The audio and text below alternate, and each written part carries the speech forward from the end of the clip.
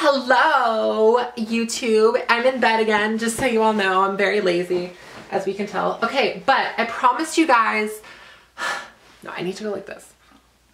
I promised you guys that I would film the video um, about surgery and about going into surgery and blah, blah, blah, blah, blah. So that's what this video is going to be about. I promised it, so I will deliver. So let's just get right into it, shall we? So to start off with, um, I got my surgery with Dr. Brassard in Montreal and the surgery was covered by OHIP, which is the Ontario Health Insurance Plan, I'm pretty sure. So I had to go through a whole bunch of processing for that to get approved for OHIP and then to get on the list and then waiting and blah, blah, blah, blah, blah. So if you guys want a video about the, the precursor into all of it, let me know and I'll do that. But this is strictly about um, like the days before surgery and after. So, um, we took a train down to Montreal. For those of you who don't know, I live in Ottawa, Ontario. So we took the train to Montreal and part of the arrangement for getting the surgery is um, staying in the bed and breakfast two days before. So I got there and I think everyone else was out and um, like they were out doing things during the day.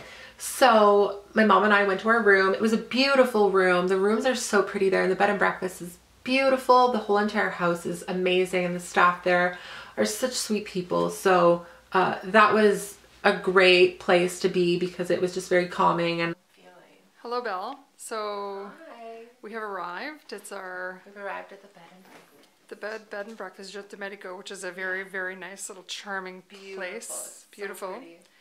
And we've met uh, Chantal, our host. She's a very sweet, kind lady. Yes. So how was your train drive? Here. Um, boring, I guess. Okay. But and now that you're onto your next step, then So today is Monday, right? mm-hmm. And surgery's Wednesday, so tomorrow is basically pre-op day. Um, Yes, we're going to go on a little tour tomorrow. We'll take the metro downtown, just to kind of get your mind off of the fact that that- tomorrow at four o'clock I you get to to do do a lovely enema. little enema and uh, to clean out your bowels. your bowels. The day before my surgery, I think I had to do two enema fleets or fleet enemas. Fleet, I think it's called a fleet enema. But it's basically where you stick um, this thing up your butt and you squeeze it and it just empties your bowels. And if there's one thing I can say about the whole entire surgery experience, um, that was the worst. The fleet enema was the worst. The surgery wasn't even bad. It was the damn enema. That felt like you were shitting out fire. It felt like you were shitting out lava. And it, oh my God, it was just, it was so painful and it felt like your butt was on fire. Not even joking. Like you guys wanted me to be honest, I'm being honest. It felt like your butt was on fire. It felt like your insides were just like melting and like pouring out of your butthole. It was not fun. And then um, you had to shave the pubic area um, inside. So like you have to shave the front and then where the penis is and the testicles are, you have to shave around that. You have to shave the testicles and you have to shave the anus. Um, so I did all that and then I went to bed and I was arranged to be picked up at 7 a.m. by the people for the surgery. So I woke up at like 6 and I wasn't even nervous. There was no nerves in me. I was just like, all right, we doing it. Cool beans. So I got picked up with my mom and we went to the surgeon's office and that is so yeah you stay in the bed and breakfast but then you get driven there. And it's an outpatient or it's like a private practice. It's like a special facility. It's not in a hospital. It's actually right near a prison which is like awesome. And i went in there did some paperwork got um just all settled in this is not a picture Oh. so how are you feeling Well, I'm excited for you. I'm just waiting for. Where do I look in this camera? Okay. right there Okay. Just very excited. Very excited for you. Can't wait. I want this to be done and over with. I know. I just want to go to bed so I can wake up and eat goldfish. That's the only thing I'm thinking of. It just makes me happy when I saw all the other girls and how well they were doing. So I'm excited about that. It's nice. Tired. Ew. And I was waiting for my surgeon um, to call me up. And I got my surgery around like 10, 11. So when that happened, um, I was I wasn't nervous. I was literally on my laptop listening to Alicia Keys. There was no nerves in me. And I got called up. I went up there, um, sat in the room, talked to the anesthesi anesthesi and I can't say the word.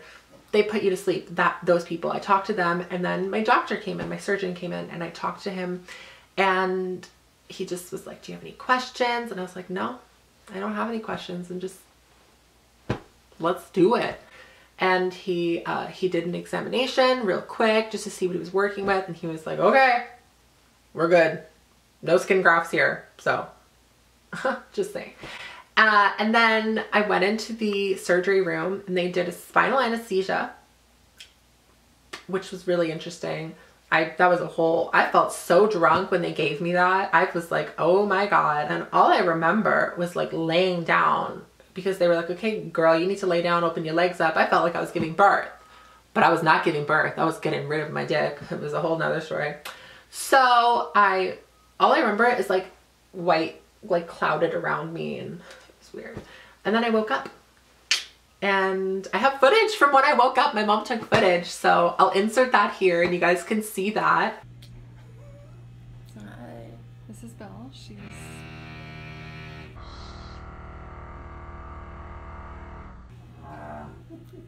And that's the MRI machine next door. No, it's not. They're doing construction. Because a year ago they tried to burn down this hospital. So they've been renovating it since then. And so Belle's back. She's been back for about uh, five minutes. I woke up during surgery. I did She had a spinal. Be like me when I I, I, I, I so I had spinal block, and then it was during the surgery, and I felt them tugging on stuff, and I was like, "Screw it, I don't care." That would have been that appendage between your legs that you no longer I've have. woken up in all my surgeries and it freaks out the doctors. And and then I woke up at the end, and they were like, "Okay, Gabrielle, your surgery's done," and I was like, "Where are my goldfish?" I had to wait an hour. I know. I'll make sure no one eats them. And then my legs are still frozen, but you know, Dr. Brassard told me What hmm did he say? they're trying out a new pain thing. Okay. So And what's the new pain thing? the effects of the anesthesia last longer. Oh, yes, they do. Hmm. Spinal's definitely better. You recover faster from a spinal. All I could think about right now is going to see Lady Gaga. Okay, what would you like to tell your, uh, what would you like to, aside from Lady Gaga, what else would you like to say? I wasn't nervous. Good. Like not one bit of me was nervous. So you went into surgery at quarter to ten, Yeah. and then you waited an hour, and then you went into the operating. You walked into the operating room.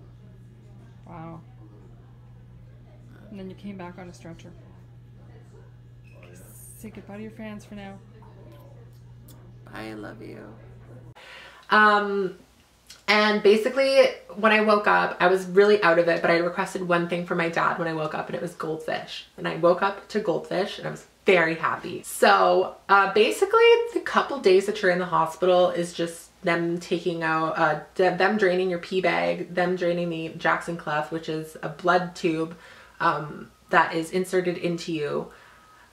Oh my god, thinking about it makes me want to puke.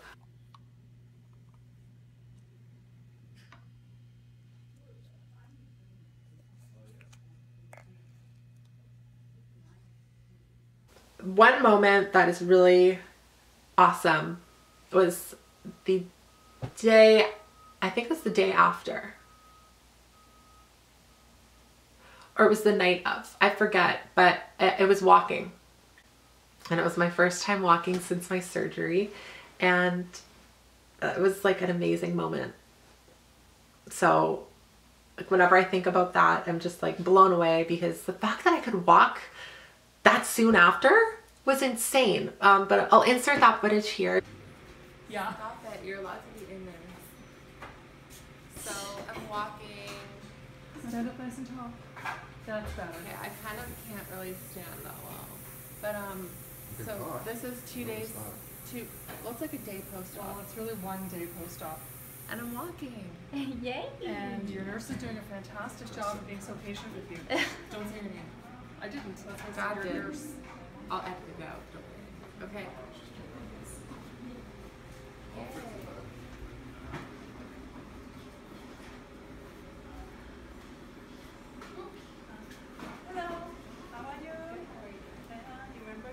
The anesthesia. You're the anesthesiologist. Well, girl, it felt Not great. asleep. I mean, you didn't have her sleep. I woke- up in the mid, at the end of it. I remember that, and I was like, well, whatever. It's So they um, took me from my room in the hospital and brought me to the uh, the house behind it where the girls recover from surgery and the guys who recover from their surgery. They brought me there and I got set up into my room and it was really really cute there and that's basically where you learn about cleaning your vagina, dilating, uh, and just recovering. And oh my god, let me tell you, that was a whole thing in itself. I, you, oh my God. You wake up and you have, um, it's basically like a condom filled with gauze shoved up your vagina to keep it from closing. Then that's sewn shut. And then you have gauze sewn onto you to collect the blood.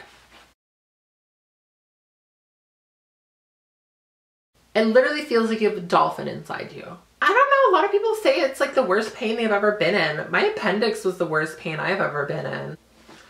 Basically, like the timeline of when you're in that home is you get your packing removed, then you get the stitches removed, uh, like the sutures that are kind of sewing up your vagina, and then you get the stent removed and then you get the catheter removed. And that all happens in a period of days. So like one day you do one thing next day you do the next thing next next. Last thing you get removed is your catheter out of all the things that you get removed i would say that the sutures or the catheter are the most uncomfortable. They're not painful they're weird. Dilating is not weird. Everyone asks me what dilating feels like and honestly dilating just feels like you're shoving a plastic dildo up your vagina. That's literally what it is. That's what it feels like um, the surgery was a great experience. It was not that hard. I could walk. There was bleeding, obviously, but it went away. Um, painkillers will be your best friend, I will say. And if there's one thing that I can advise everybody going into the surgery is just like make sure you have some type of support system. So even if your family doesn't support you, become friends with the people that are there. Become friends with the people that you're getting your surgery with. It's very important that you do. So if you guys want me to talk about post-op life and um, dilating now and clitoral sensation and, and orgasms and all this stuff, let me know and I'll make a video about that. But if you want me to talk about complications, if you want me to talk about um, like really post-op, like the weeks and months after I got my surgery, let me know because those are like completely separate things because there's the pre-life and then the days of surgery and week after and then there's like actually after surgery and like anything like that. So I think I will make a video about that stuff, but that'll be later. And I hope you guys enjoyed this video. And as always, peace, love, and vaginas. Toodles!